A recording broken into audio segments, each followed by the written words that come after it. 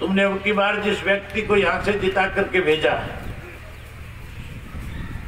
अब तुम्हें महसूस नहीं हो रहा क्या कि गलती करी? हो रहा है कि नहीं हो रहा? ऐसे आदमी को जिता करके भेज दिया, मेरे साथ ही बैठता है।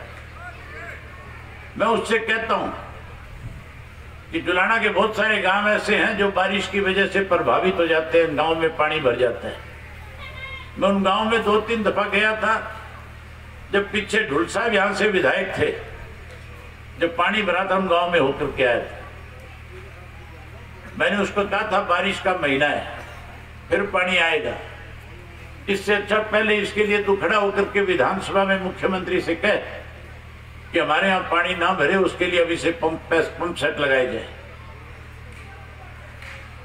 मुझे कहने लगा, जी, मेरे को तो इतनी बात कहने नहीं आती। मैं बोला, मुर्गी बेचनी तो आवे था ना। ऐसे लोग अगर विधानसभा में चुन करके जाएँगे तो फिर साथियों मान करके चलो, हम अपने पैरों पे स्वयं कुल्हाड़ी मारने का काम करें। सिंह चौटाला हमारे आदरणीय है। जो बात उन्हें को बात है, उसने खुद सोचनी चाहिए। उस लोगों ने उसकी बतानी चाहिए, जो हमारे विधायक जी हैं। उन्होंने इस कोरोना कारण भी करेला पंप हाउस सामड़ो पंप हाउस जो दोन, दोनों काम अधूरा था कोविड नाइन्टीन के कारण भी दोनों पंप हाउस डबल कैपेसिटी चालू करवाए जो गाँव में हर गाँव में समस्या थी मोटर दिलवाई पंप दिलवाए बिजली कनेक्शन करवाए ये तो मेरी कहनी बात है जाए देखने की बात है. दोनों पंप चलाए पहले 80 परसेंट जो चौदह गाँव हैं 80 परसेंट लोग गाँव था जो भी चौदह गाँव अस्सी परसेंट में से फ़सल खराब हो जाती ए बी सी गाँव में जाए तो पंद्रह परसेंट खराब हो गई एक साल के अंदर किसी गाँव में ऐसा काम नहीं छोड़ेंगे हमें। भाई निकासी के कारण भाई फल के कारण खेतों में फ़सल बर्बाद होगी वो मेरा व्यापार है।